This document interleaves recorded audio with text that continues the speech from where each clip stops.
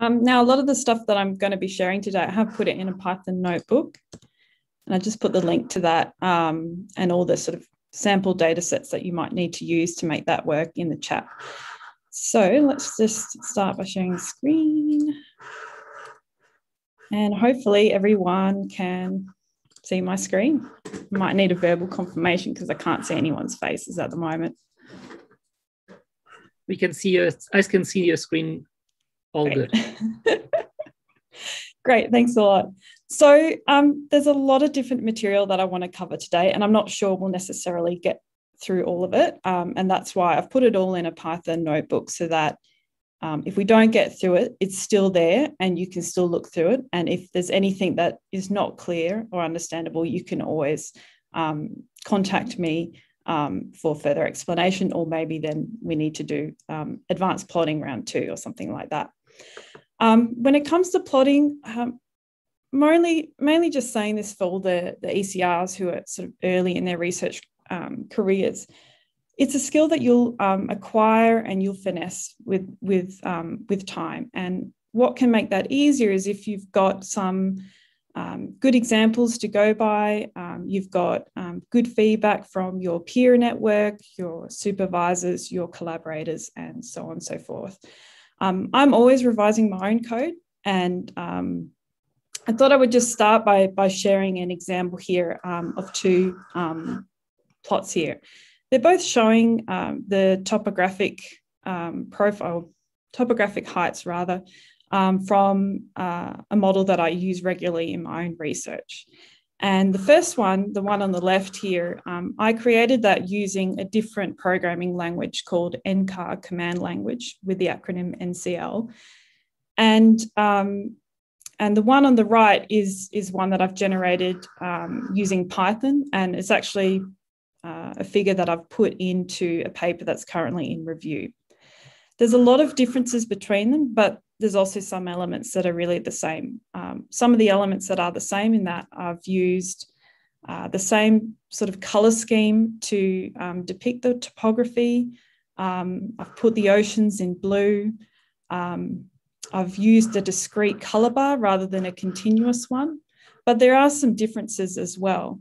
Um, the one on the left here, um, the text in all these labels looks a little bit fuzzy, which is personally quite irritating now with all our high resolution screens that we're using.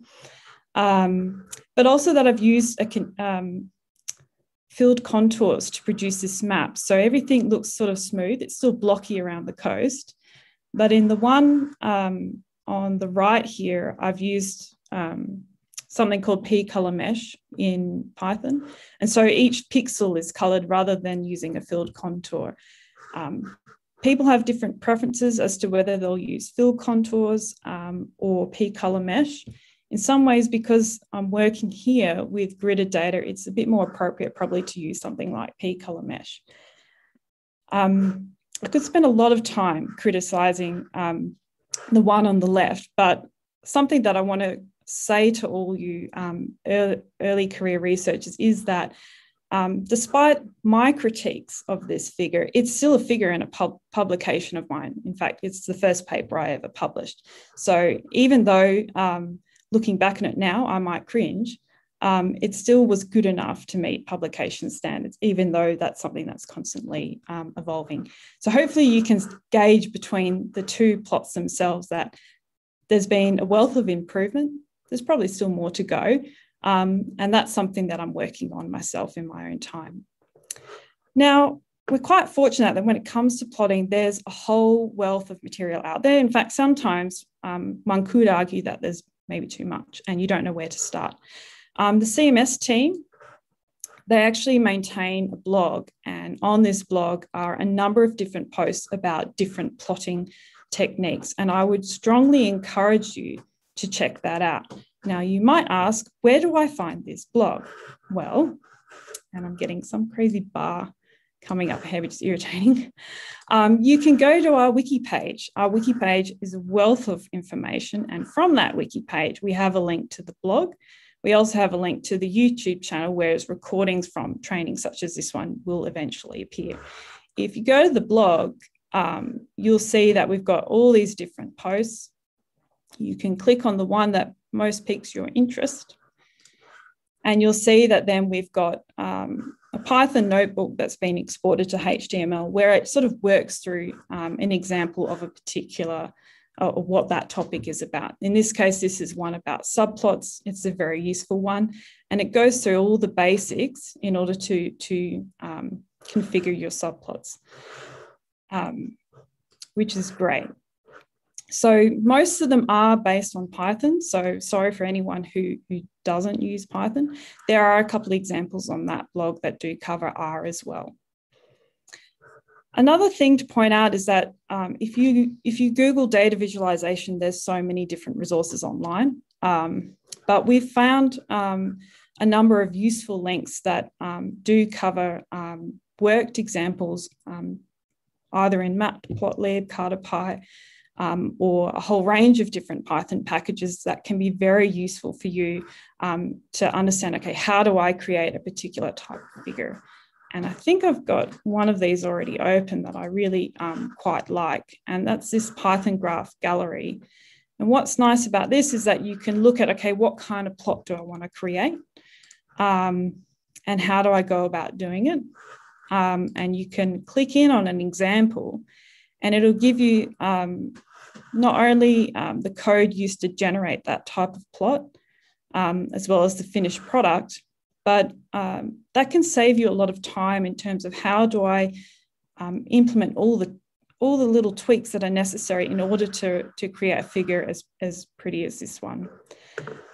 Um, there are a lot of, of different packages out there, um, and one of the ones that we did talk about last week was matplotlib, and this one has a lot of worked examples that you can go through if you want to understand a bit better how you can utilize um, a particular function. CartoPy was one that we also talked about last week. Um, this is really important if you're going to be um, plotting spatial data where you, you need to include geographic information. Um, and there are a range of different projections there. And then there's Seaborn as well. Um, this is one that I've used um, every now and then. Seaborn is really quite powerful because it does a lot of these um, little tweaks that can make beautiful plots, um, but with very little effort on your part. Um, and that can be quite advantageous. So um, all of those links are provided in this notebook, so you can, can go and, and have a look at those at your own leisure. Um, I did want to cover a little bit um, of my own best practice tips.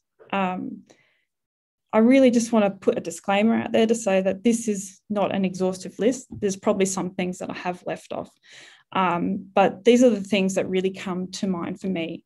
Um, the first one is about colour.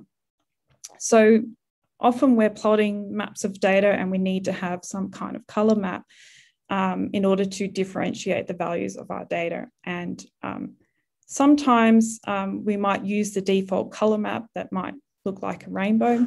In fact, um, Matplotlib um, has a whole page about different color maps that are available um, in that package. And there's quite a lot to choose from. But sometimes we might just pick something random without really thinking about how an individual is supposed to interpret those colors.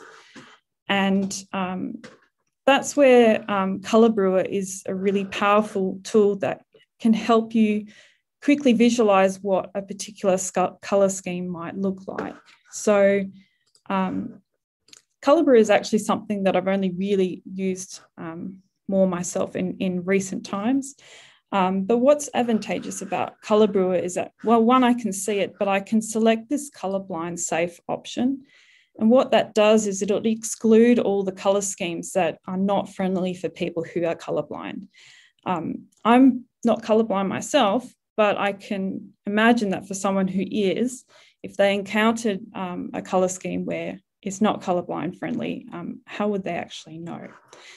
Um, in sequential color schemes, that's not really so much a problem, but it is a problem when you're looking at diverging color schemes where you're trying to um, convey some information um, about the magnitude of um, an anomaly, for example, um, by using color, colors um, to help with that interpretation. So uh, if I deselect this colorblind safe option, you'll see that there, there's um, some color bars um, that reappear and one of them is this traffic light one. So traffic lights, most people know what a traffic light is. Green is go um, and, and red is stop. Um, one way that one might use this kind of color scheme is if you're trying to communicate something about error. So um, green would mean good and red would mean bad. But the problem is, is that if you're colorblind, you're not necessarily going to be able to differentiate between the reds and the greens. And therefore, it's not the best color scheme to be using. So you can select this colorblind safe mode, and that will highlight to you what color maps are safe for colorblind people. Um, other features that are available from Color Brewer is that you can actually download um, a little file and, and use these numbers to create your own distinctive color maps. It's not necessarily the case if you're using Python that you would need to do that, but it's nice to know that the option's there if you want to create some wild and crazy um, color scheme. Another thing to sort of say about color is that, uh, which I've already sort of alluded to, is that it can be quite powerful in helping uh, a reader to interpret your results. So um, if we're link, thinking about temperature data, um, this red, red to blue scheme is quite a powerful one because red, I think it's warm and it's hot, and blue, I think cold, um, cold, cooling, um, and, and low temperatures, for example. Um, so if I'm plotting temperature data, um, and, and this is just an example, then it would make it really fast for uh, a reader to interpret what they're seeing. But uh, you just want to be careful that you've got sort of um, uh, the right order so that blues are for your low temperature values and reds are for your high temperature values. Another example um, of, of um, doing this um, would be for precipitation data. So I often use um, a brown to green color map if I'm looking at precipitation data. Um, I do have a background in land surface science. So for me, um, brown means dry and green means lush vegetation. If I'm more in the atmospheric sciences, I might prefer to use blue instead of green, um, where the blue would indicate wetter conditions. Um, up to you, depends on, on what your foci is. Um, a final thing to say about colour maps, and I know I'm labouring on that quite a bit, but it is really important, is that you know how um, you can see in this colour map it includes white and an important question you need to ask is how are people supposed to interpret white? Um, does it mean that um, the values are zero, that there's no data? Um, it's a bit ambiguous. Um, you can sort of resolve that by having an even number of, of color classes so that white is not included. Um, and that's quite advantageous if you have um, a diverging scheme. So you're, you're plotting, say, precipitation anomalies where um, all the, the brown hues um, are negative um, precipitation anomalies and all the green hues are positive uh, precipitation anomalies. And then it's clear that the, the lighter shades, they are values close to zero, but they're not zero itself. Um, so hopefully um, some of the things I'm saying um, do make sense. So um, Another thing to really think about is, is how we um, plot our data. Um, and say if I was looking at, at global data, um, the, the coastline map that I use would probably depend upon what I'm interested in. So as I mentioned, I've done a lot of stuff on the land surface, so I don't really care about the oceans, um, sorry. Um, but often when I'm plotting global data, I will use this map on, on the left here so that I'm, I'm not splitting up the continents, instead I'm splitting up the Pacific Ocean. In contrast, if I was really interested in, in what's happening over the oceans, particularly over the Pacific Ocean, I'd prefer to use um, set up my global maps to look like the one on the right here so that the Pacific Ocean is complete. Um, equally, if I was interested in the Indian Ocean, the same thing.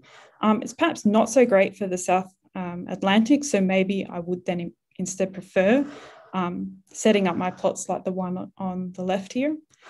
Um, equally, if I'm interested in the Southern Ocean, I'm not entirely sure this kind of projection is what I would want to use. And I would probably check out what's available uh, on the um, various different projections that are available for CartoPy and, and use a projection that is appropriate to the region that I'm looking at. But it's just something to keep in mind. Some of you may be working with global data to think a little bit about, you know, where, where are you splitting things up? Are you doing it over an ocean basin or um, over a continental area? And that will depend upon what your focus is actually on.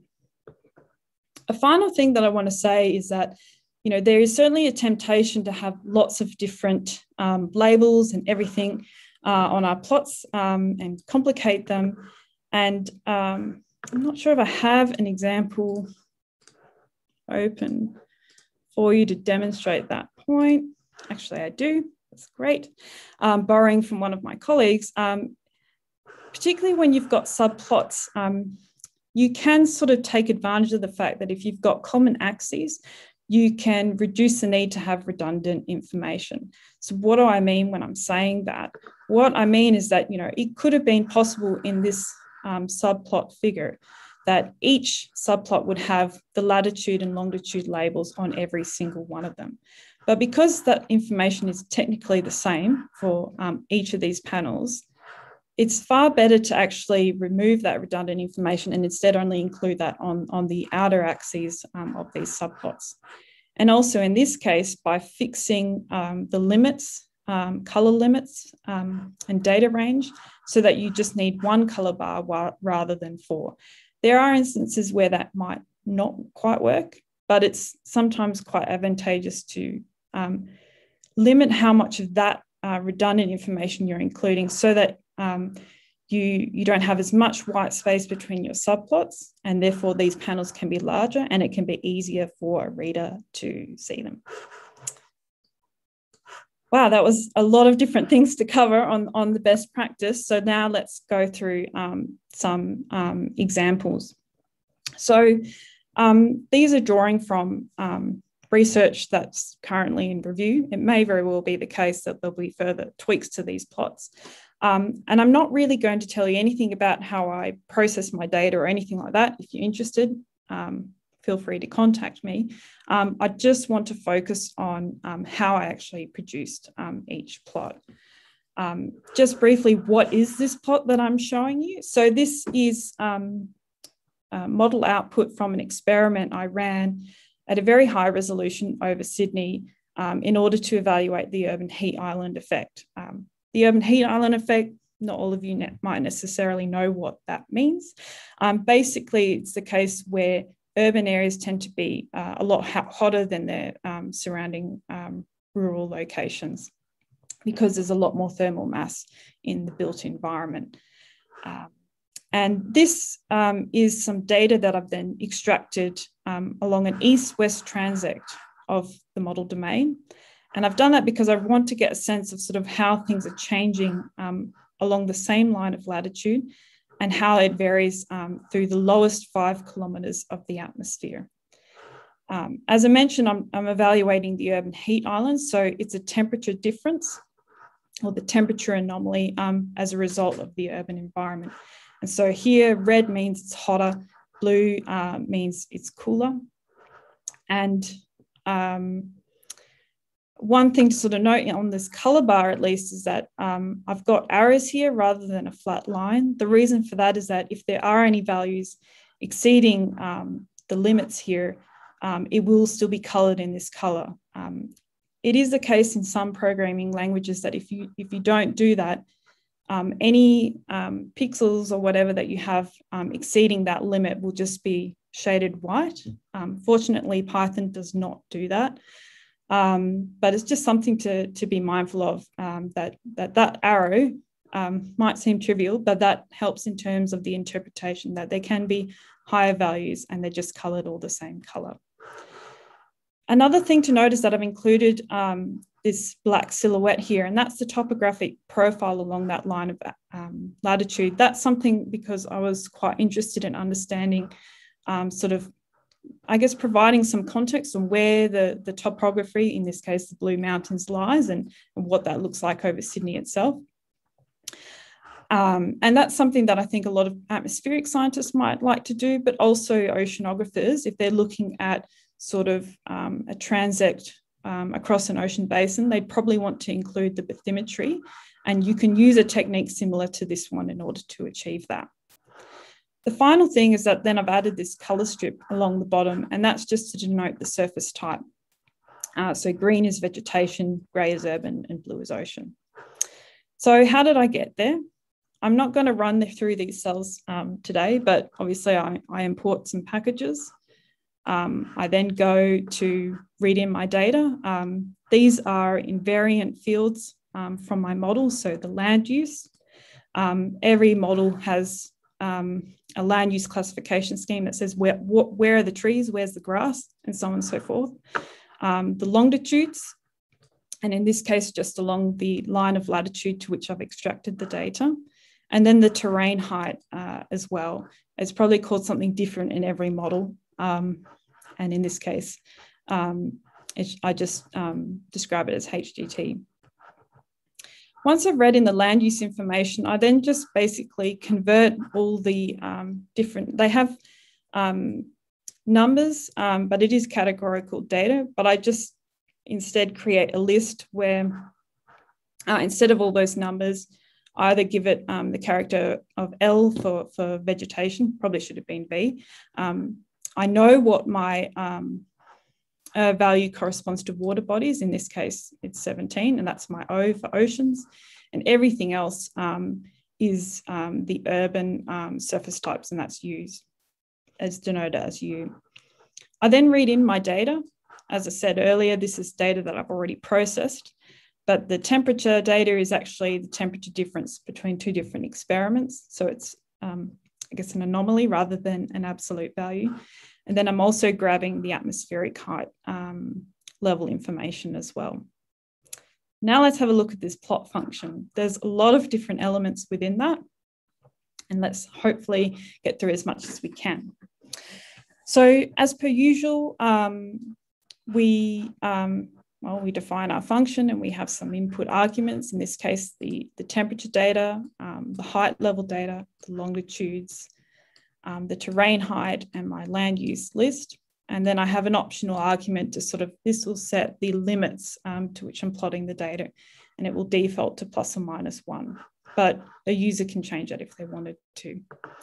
We then import the packages. So these are two packages, or rather, matplotlib is one that people um, are often using and we use this abbreviation PLT.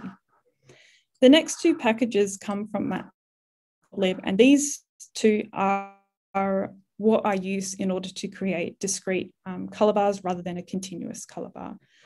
And um, we'll, I'll show you sort of how one actually does it um, shortly. Um, I've got a little bit of garbage here, I guess, from previous code that I've, I've used, um, but it's more to sort of say that um, the way I've set up this plot that I'm showing you, I've actually, um, you can do it where the color bar is part of that subplot, but more often than not, when I'm doing um, plots, I tend to prefer having the color bar as its own sort of subplot um, object. And that's because maybe I have many subplots and I just want to have one color bar rather than say four. Um, or maybe I want to um, do some extra tweaks to it. And um, uh, this is the way that I've found works for me. As always, there are many ways to do things in Python. So basically, I, I um, create a figure and I specify the size. Um, I create my first um, subplot axes um, and that's for the main um, panel plot. And then I also create another subplot axes, and that's the one that I use for the color bar.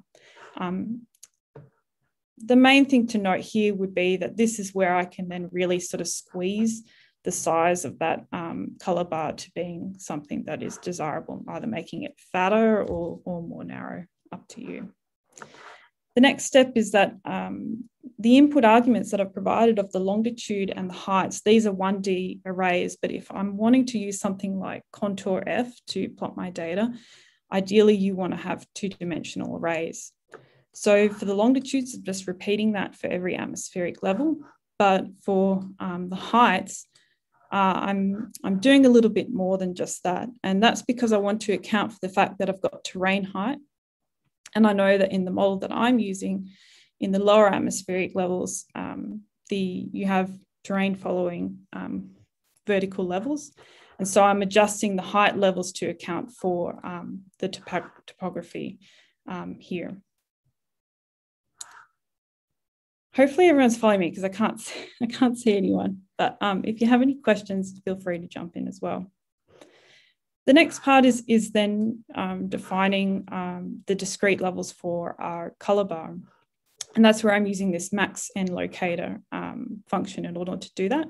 You need to specify the number of bins. Um, so here I often use an even number and I'm either using 10, um, but more often um, 20 so that I have, um, I guess, enough discrete colors in my color bar. So you'll notice if I just flick up to the figure again that we've got um, um, 10 distinctive colors. It's, it's you know, changes from red to blue at zero. That's intentional. Um, we can then put in our max and min value. It's defaulting to one in this case. Um, we then need to um, extract um, the sort of color values from our color map corresponding to those levels um, and boundary norm makes that um, task easy, which is advantageous. and then the next thing is I'm plotting the data here. so I'm using contour F in this instance. the data here is very high resolution. Um, so I don't necessarily think there'd be much difference whether I'm using contour, contour F or P color mesh. But um, in this instance, I decided to use contour F. So I need to provide my, my two-dimensional um, X and Y values.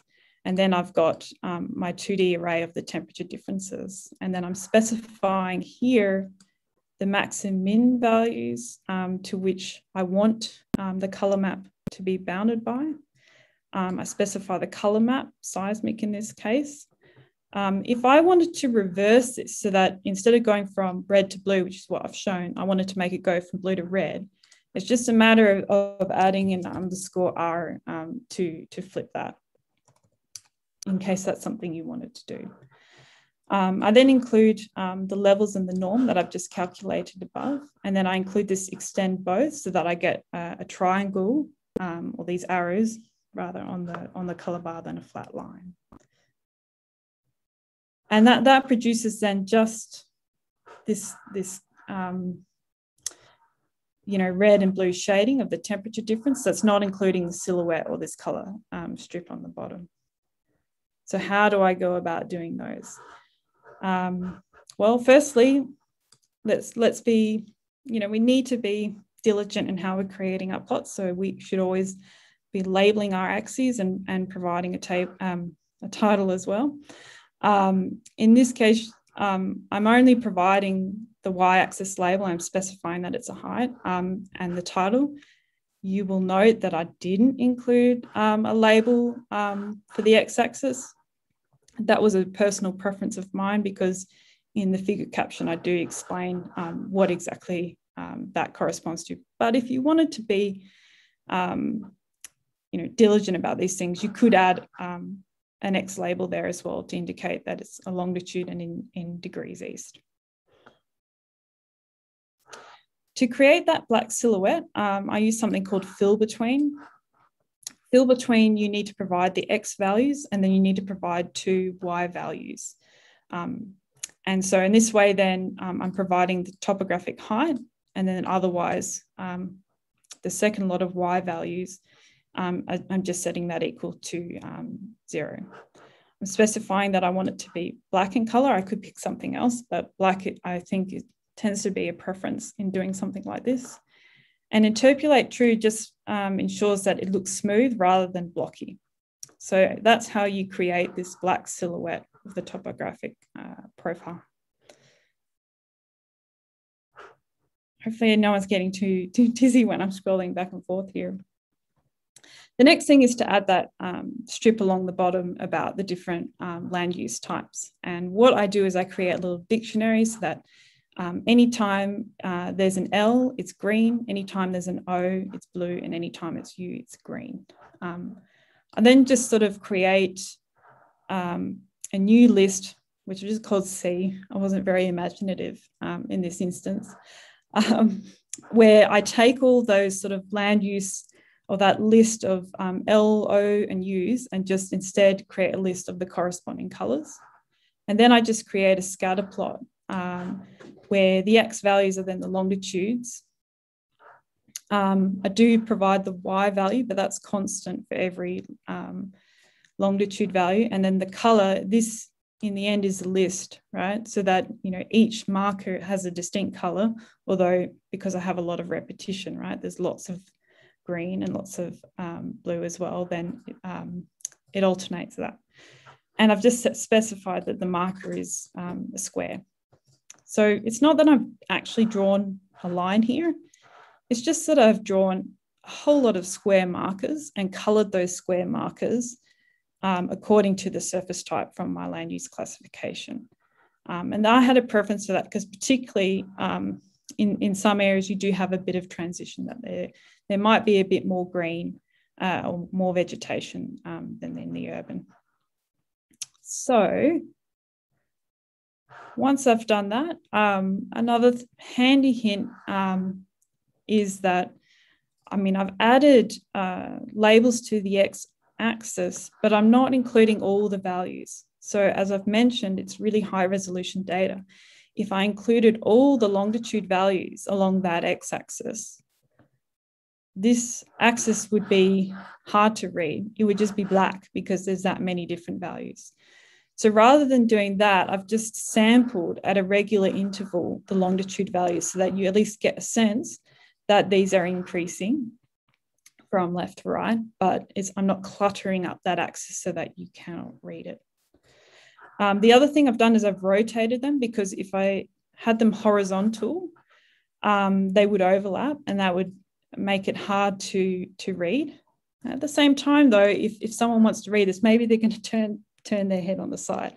And that's something to think about, at least if you're doing presentations um, that you want your labels to be oriented so that it is easy for people to read. If you see people um, when you're giving a talk turn their, their heads to the side, um, maybe that's a sign to, to change the orientation of your labels. Another thing that I've, I've done is I've, I've fixed the uh, Y limit axis. So um, I've limited it to just below um, zero to include that color strip of the land surface type and I've then uh, the maximum value I've limited to five. The data itself actually goes to quite high up in the atmosphere, um, but I only wanted to look at the lower atmosphere because that's where the most interesting things actually happen. And then I add my color bar, um, but I've done it on a separate um, subplot. And in this case, this example, there's not a lot of tweaks I've done to that um, color bar in terms of spacing and width. I do have an example later on for you if we get time to it, um, or if not, um, it's definitely there. So that's everything on that example. Um, I mean, does anyone have any questions before I continue to my next example?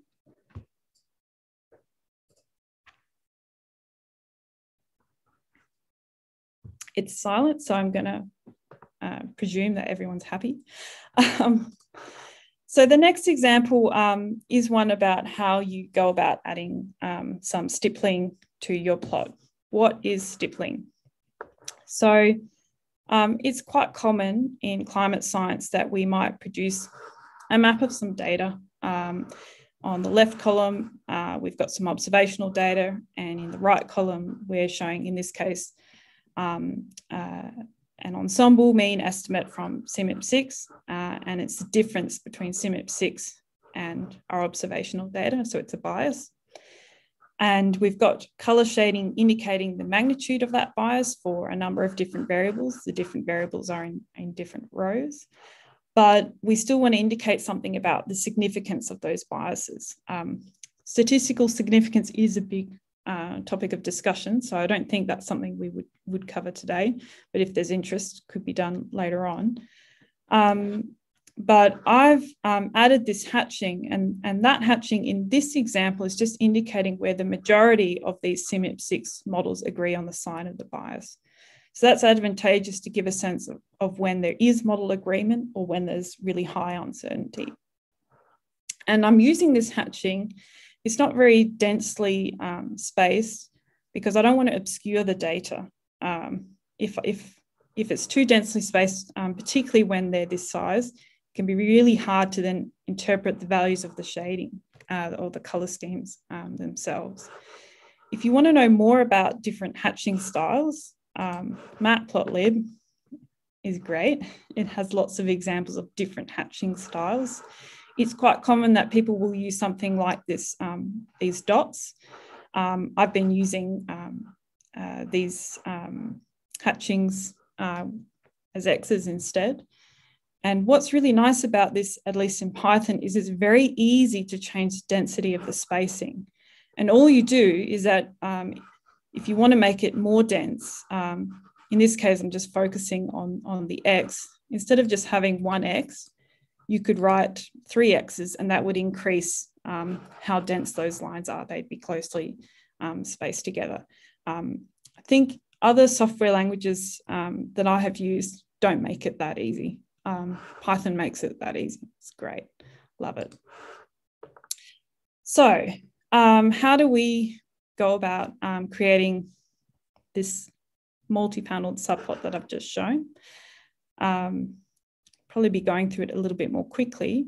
Again, we're just read, reading through the packages we need to, to read in our data. Um, I want to highlight one that's called region mask. Um, this package is great for creating land sea masks um, at the resolution to which your data is at. So if you don't have a land sea mask for the data set you're working with, region mask may very well be um, the answer to your problems. We then read in um, data that I've already processed. In this case, um, we need some information about um, the coordinates, so the latitudes and longitudes. I've got something called BE mean. I, I know what that means. Um, and that just stands for Berkeley Earth, and it's the mean. Um, Berkeley Earth is an observational data set that um, many of us do use. Um, and then the bias that I've calculated, and um, an array uh, that um, basically consists of zeros and ones. And that's what I use to indicate significance and to add hatching to my plot. Um, then just define um, uh, a new X-array data set of the latitude longitude coordinates. And then I can use that um, along with region mask um, to create a land sea mask at the resolution of my data. And in this instance, um, because um, I'm doing multiple panel plots, I'm just repeating that mask to the same dimensions as um, what I've got for my data. And then I apply the mask and then I get ready to, to plot my data. So we have um, in this function then a number of different input arguments. So the latitude and longitude, my observed data, O data, my model data, my significance.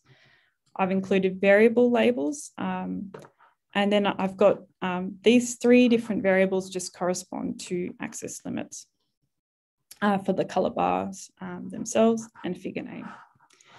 Again, um, the packages we're importing are similar to what I've shown in my first example, but in this case, because um, we're wanting to plot the world, we're including um. And another one uh, that is quite useful is that um, because I've got a multiple panel plot, you do need to label each of those panels. Um, and, and often the way we're doing that is we're iterating through the alphabet. So A, B, C, D, so on and so forth. Um, string um, ASCII lowercase makes this very easy. You don't need to hard code it, and it's very easy to write a loop in order to iterate through the alphabet. Um, we are running short of time, but um, I'll just maybe focus on the things that are really um, different in this example. One thing that you can do is you can specify the DPI to which you're saving your figure at. And this is really handy because um, for a journal publication, you probably want to save it at a very high DPI so that the figures look crisp and clear. And you probably also want to do that um, if you're going to use that figure in a talk. But um, that means then that the figure file size can get really big um, by several megabytes. And that might not be ideal if you're just doing quick figures that you want to share with your supervisor, your colleagues, and so on and so forth. So you can specify um, the save DPI, make it lower uh, for lower resolution figures, set it higher for higher resolution um, figures. So we, we do set up our, um, our figure space, we use subplots, um, and we already um, define how many subplot axes we've got. Um, in this case, I've got four different variables and I've got two columns because one is observed and one is the model bias. And I've just sort of written a little hack that the figure size will scale with how many rows and columns that I've got. This is just, um, if you already know what the aspect ratio is for one plot, then you can use this to make it um, a lot faster to, to make sure the aspect ratio um, looks nice for your um, figure. And then because I'm, I'm plotting uh, global data, I'm then including um, this keyword arg argument with um, the projection information, where in this case I've specified essential uh, longitude of zero um, because I don't want to split up the continents, I want to split up the Pacific Ocean. We define our color maps that we're using. Um, both of these don't include white in it. And the reason for that is that I've masked the oceans and the default um, when you're doing Python plotting is that any, any masked areas will be plotted as white. Um, it used to be that you could specify the color, but I think that's just become deprecated quite recently. Um, again, I'm using contour F um, to plot each of those panels. Um, and the arguments are similar to what I've done before, um, although I'm actually calculating um, the levels um, in this call. and I've specified the number of bins. In this case, I've used 10. And that's the same both for the observational data and the model data. And um, uh, then what I do is I'm adding stippling, but only to the second column where I'm showing the model bias. And so again, I can use contour F um, to do that. Um, I provide the latitude and longitude um, values in two dimensions. I have my significance variable that consists of zeros and ones. Um, I indicate that I only have one level, that I don't want the contours to be filled and instead I want there to be hatches. So anywhere um, there are zeros, I'm saying no hatching. And anywhere there are um, values of one, there is hatching of x's. The reason I just point that out is that it's possible that you can, um, if you want to differentiate between not just um, zeros and ones, but zeros, ones, and minus ones, um, it would just be a matter of having two levels and then maybe specifying something um, ahead of this um, none. I then add the coastlines. Um, you can actually change the resolution of those coastlines. In this case, I'm just using a default value. Um, I then add um, uh, labels to each of the subplots, and this is just iterating through the alphabet.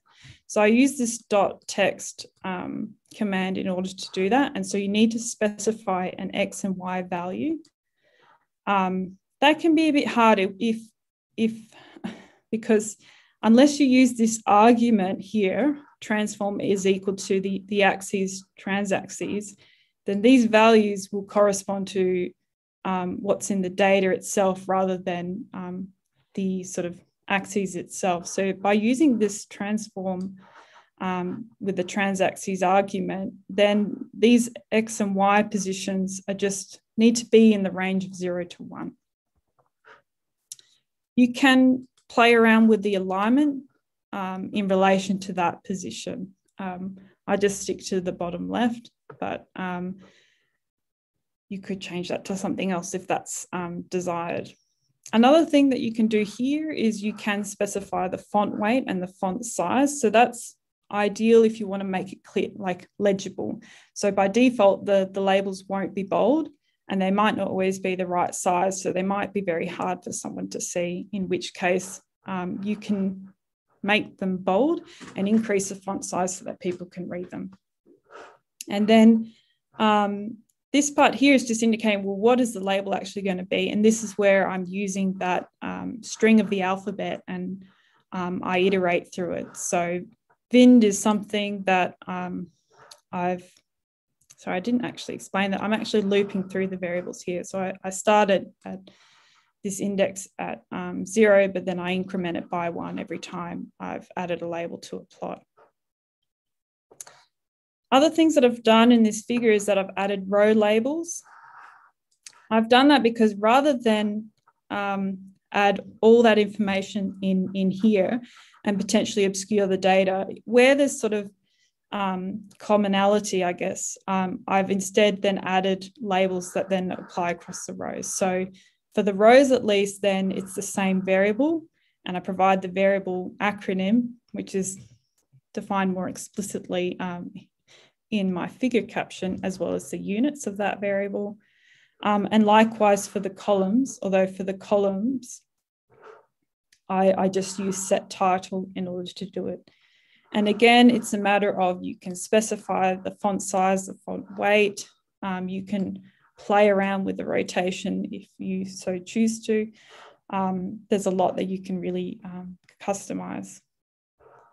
Finally, um, yeah, I'm adding the color bars. Um, so in this case, because it's different variables um, and different ranges for each panel, then each panel has its own subplot. I couldn't sort of generalize that in this instance.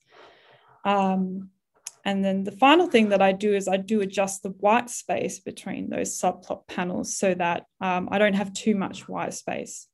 So I've tried to make the white space as small as possible without sort of overlapping the figures.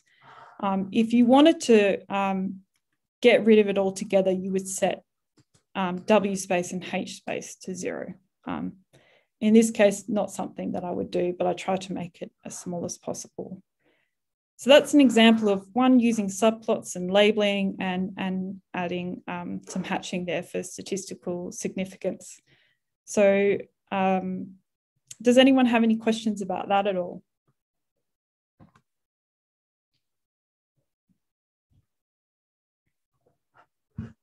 Maybe it's information overload. um, I do have one other example um, to, to go through. I don't think I've really got enough time to go through it in any depth. Um, but, um, you know, quite often we're wanting to add um, legends to our plots. That's particularly pertinent if you've got time series of uh, different model realizations. Um, my advice there would be you don't want the legend positioned in such a way that it's obscuring your data, and sometimes it's advantageous to stick the legend outside of um, the subplot space, and, and that is very easy to do, but I won't explain all the specifics about that um, due to us running uh, low on time. Another one is that you can create your own color maps. This is something I've only just figured out how to do myself, where I'm combining two different color maps. And sometimes you might want to do that because the options that are available in Matplotlib don't suit your needs. Um, and so in this case, um, this map here is just showing um, surface type where the greens correspond to different vegetation classes and the greys correspond to different urban classes. And the crux of that code is that you, you, you read in two different color maps, um, you stack them together, and matplotlib.colors um, uh, I've imported that as a, a, package that I've then abbreviated to M colors. And it has a function where you can um, basically combine um, those two color maps um, together. And that's really nice. That's how I created these two together because I couldn't find a color map that suited my purpose in that instance. And I think I will, I will finish there. Um, I might stop sharing my screen and welcome people to ask questions.